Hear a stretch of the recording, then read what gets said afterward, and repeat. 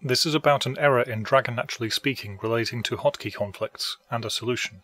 Recently I booted up Dragon and it said that the microphone hotkey, the one that can turn the microphone on and off, could not be registered because another application had registered it. I couldn't find a way around the problem, and online advice about changing a particular value in a .ini file also didn't help.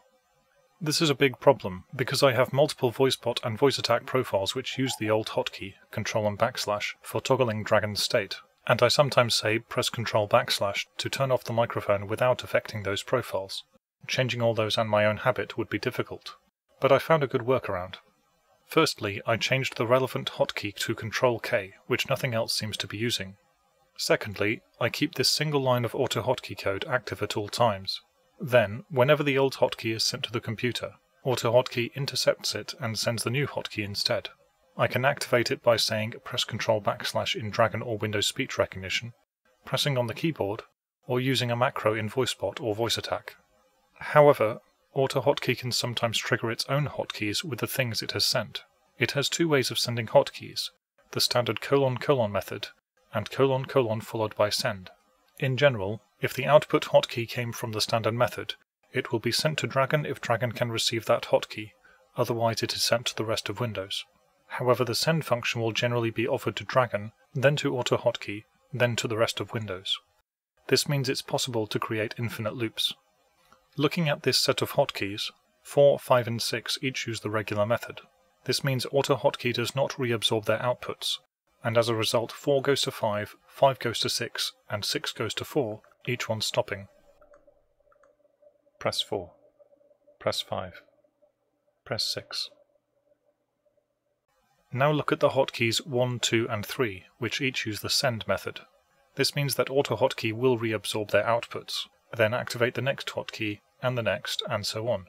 This has created an infinite loop, although fortunately there is an exception in AutoHotkey for this, and you can choose to end the script if you don't want it to continue. Press 1.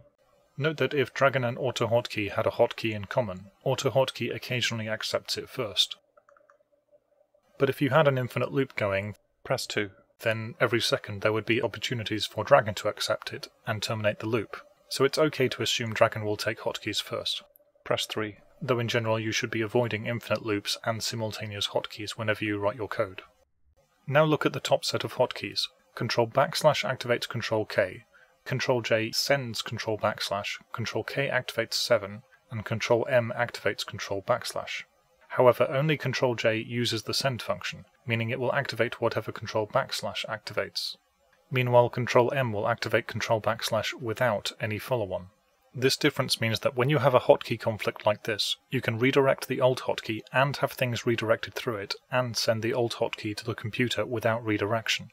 For finding suitable hotkeys, a good starting point is checking the list of Windows hotkeys, which I've linked to in the description. The ultimate benefit of going through all this is that your VoiceBot and VoiceAttack profiles are still exportable to computers that aren't having this issue. Note that with Dragon, in theory it shouldn't matter whether the new hotkey is sent to the computer using the regular or send method. However, when I switched to the regular method, sometimes it seemed to not let go of the control key, which caused a few problems, so the send method is the best choice. And when the VoiceBot window is highlighted, it doesn't seem to send the hotkey properly, but that's the only time this hasn't worked.